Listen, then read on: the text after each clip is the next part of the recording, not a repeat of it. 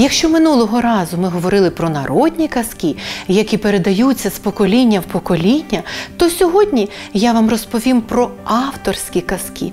Звичайно, авторські казки це казки, які написали письменники, казкарі.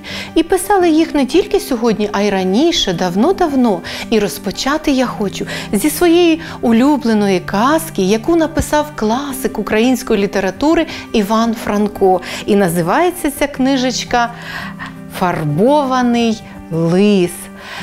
Ця історія трапилася з одним дуже хитрим, розумним лисом. Він жив у лісі і дуже був хвастливим, але хвастався він недаремно. Йому таки дійсно щасливо.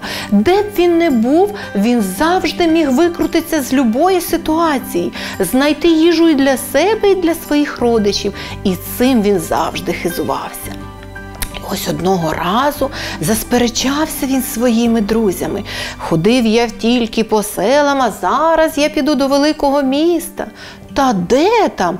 Там багато людей, тебе зразу впізнають. А ось і ні, побачите, сказано, зроблено. Пішов наш лис Микита дійсно до великого міста, де багато великих будинків. І куди ж він потрапив? Потрапив він на базар. Тут дійсно було дуже багато людей, але ніхто не звертав на нього уваги, тому що він був схожий на звичайного собаку. Люди рідко бачили живих лисів. А він собі ходив і думав, як же йому поцупити якусь їжу смачненьку на базарі. Було дуже багато різних смаколиків. І ось його почули справжні собаки. Люди не бачили лисів, а собаки відчули його. І де набралося багато собак, почали за ним бігти. Бідний лис не знав, куди йому тікати. Це ж не село і не ліс, це велике місто з великими будинками. Тікав він, тікав, і вже вибившись сили, забіг на якесь подвір'я. О, чудо! Тут були великі діжки. Він стрибнув в одну з них, пірнув на саме дно, сховався. Собаки його дійсно не знайшли. Пройшов деякий час, лис висунув свою мордочку з діжки і втік додому. Але це подвір'я було не простої людини. Це подвір'я було маляра, який мав багато різнокольорових фарб. І саме в тій діжці, у яку стрибнув наш лис Микита, була синя фарба. І лис перетворився на ось такого синього фарбованого лиса. Але він поки ще це не знав. Коли він прибіг до лису, лісу, він так стомився, заснув, а потім.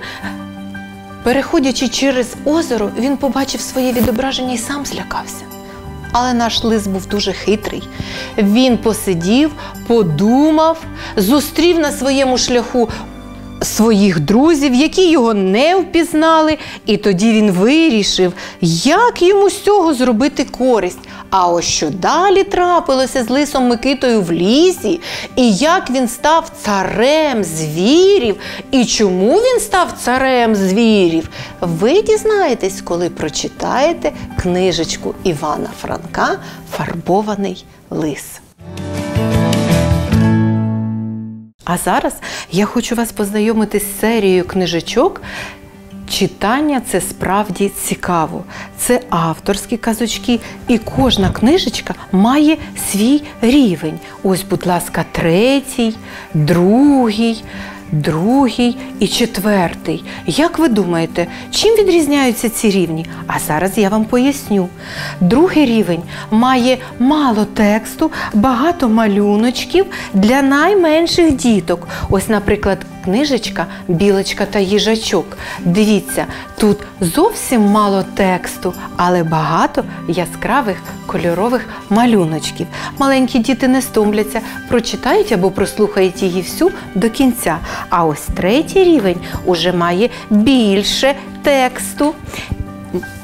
Такі ж само яскраві малюночки, але речень і слів тут уже більше. І ось, наприклад, ця казочка, як їжаки у вирій літали, дуже-дуже цікава.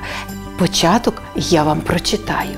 Колись два їжачки із затишного лісу вирішили полетіти у вирій. А чим ми гірші, чим пташки? Вони постійно летять в теплі краї, а ми залишаємося тут, в холодній зимі. Давай і ми полетимо у вирій. Але як же ми полетимо, якщо ми не птахи, крилів у нас немає, яким чином нам полетіти? І ось їжачки були дуже розумні й мудрі, намалювали собі схему і вирішили помайструвати літачок. Довго-довго майстрували. І такі змайстрували. І вийшов у них такий гарненький маленький літачок. Сорока рознесла інформацію по всьому лісу, і всі тваринки прибігали, щоб подивитися на цей лісачок. І ось наступив день, коли їжачки вирішили відлітати. Рано вранці вони прокинулися, зібрали свої речі, прийшли до літачка, і що ж вони бачать?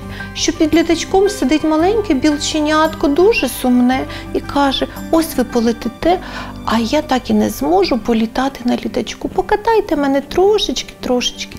Ну, звичайно, їжачки були дуже добрі, вони не могли відмовити білочці. І, звичайно, її покатали над лісом, вона все побачила. А далі почали до них приходити всі інші звірята. І чи полетіли їжачки у вирій, чи не полетіли. Ви дізнаєтеся, коли дочитаєте книжечку, як їжаки у вирій літали. Читайте казки, читайте самі, читайте з батьками, читайте разом з нами. Нехай ваші мрії завжди збуваються, а дитяча книга ніколи не забувається. Побачимося на каналі АТВ.